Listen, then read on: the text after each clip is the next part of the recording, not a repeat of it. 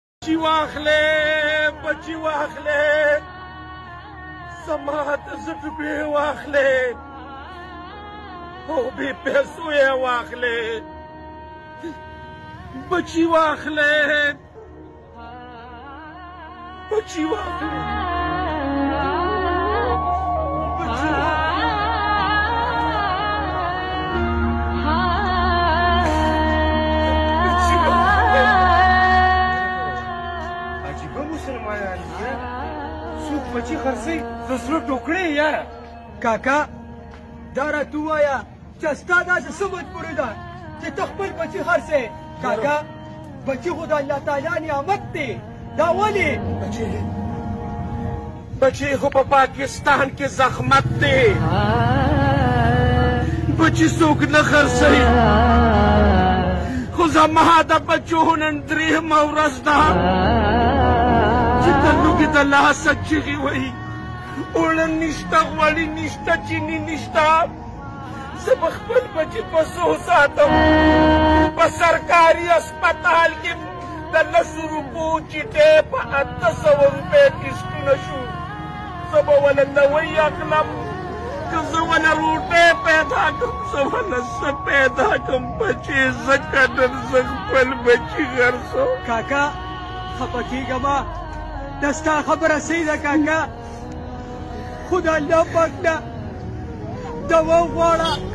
چې الله پاک رب العزت په موږ باندې رحم وکړي او الله پاک موږ د دې ظالمانو نه خلاص کړي د دې ظالمانو